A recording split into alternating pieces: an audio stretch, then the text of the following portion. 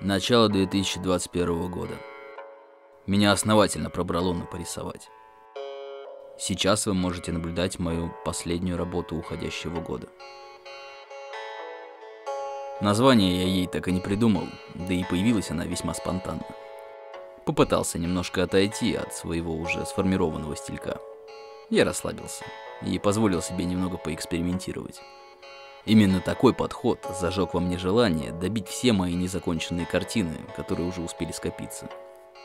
6 января писал, что начну сливать результаты потихоньку. Что ж, сделаю это сейчас. Уже на протяжении трех лет я рисую одну картину. Некий домик из игры Final Station. В феврале 2019 я проводил тематический стрим, где рисовал одну из комнат и подробно описывал, что эта картина для меня значит. Хм, даже интересно, есть тут кто-нибудь, кто заходил к нам тогда? Отпишитесь в комментариях, если не сложно. Как-то раз в процессе очередного прохождения Final Station я узнал, что создатели этой игры вдохновлялись произведениями братьев Стругацких. В связи с этим я ознакомился с, вероятно, одной из их самой известной повестью «Пикник на обочине».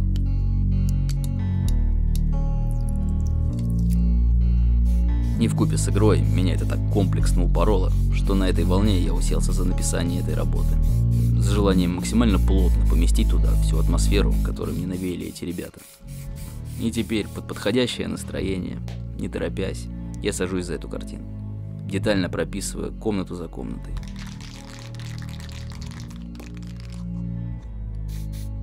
Это место, куда ты приходишь за расслаблением. Этот дом никуда тебя не торопит, ты его даже никому не показываешь. Возможно, это единственная картина, которую я рисую чисто для себя. Но пришло время, когда мне захотелось с вами ей поделиться в полной мере. Это не просто кусок арголита. Она у меня в багете, все цивильно. А вообще, так-то это обратная сторона одной какой-то картины принта, которую когда-то подарили нашей семье. Единственное, я еще рамку перекрасил с пошло-золотого на темно-серый. Тут цыганщина будет вообще не к месту.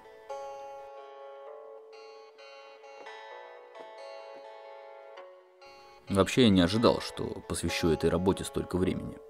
Я планировал по комнатке за полгода. Оно так, собственно, и шло. Но вот, блин, что-то засосало. И так получилось, что за эти зимние каникулы я ее почти закончил. Это не значит, что я не продолжил работать над ней. Дом пустой, его надо еще заселить. Но это потом.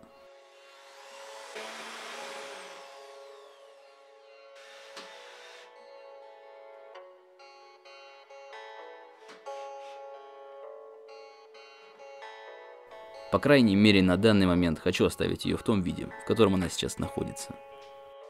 Пусть настоится.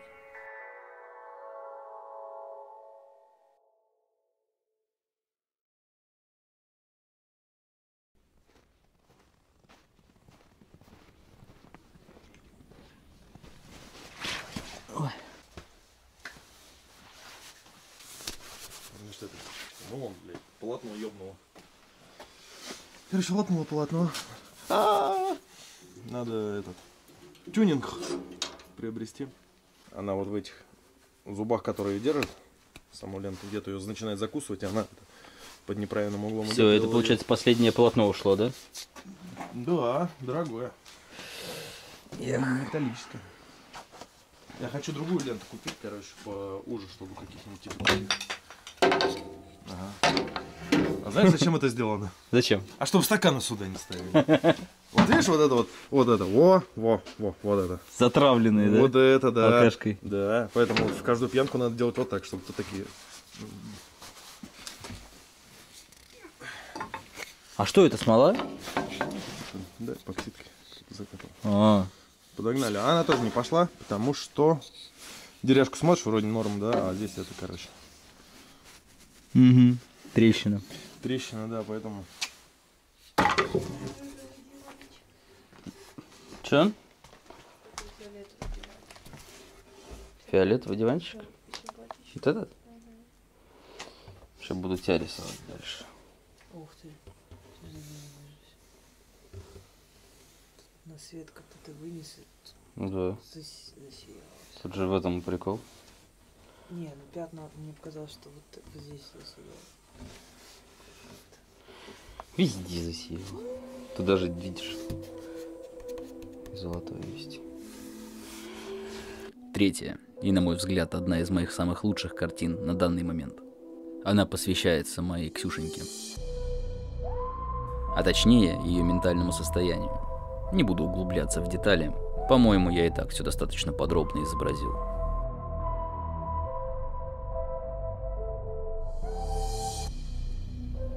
В руках у нее папин Мазила. На самом деле существующая пушка, которую я кастомизировал вот в этом видео. Кликайте на подсказку, если не видели. Здесь я использовал много разных переливающихся красок. Камера, конечно, что-то передает, но вживую это выглядит совсем иначе. Вы уже, наверное, заметили, что я, блядь, все лачу. Теперь это вошло ко мне в крепкую привычку. Во-первых, красочка под лаком выглядит посочнее. Во-вторых, появляется дополнительный защитный слой. И от этого изображение проживет значительно дольше. Это достаточно важный баф, на который даже не жалко выделить лишние 200 рублей.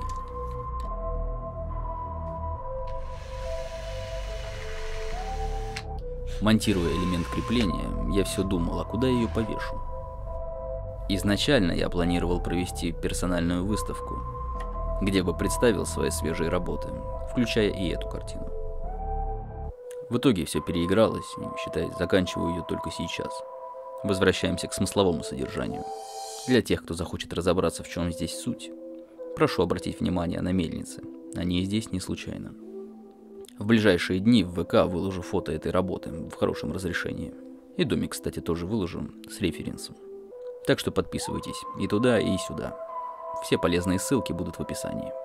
И, конечно же, прошу оценить это видео. Лайк или дизлайк. Любая активность от вас будет очень полезной. За нее вас и благодарю. Давайте, до скорого.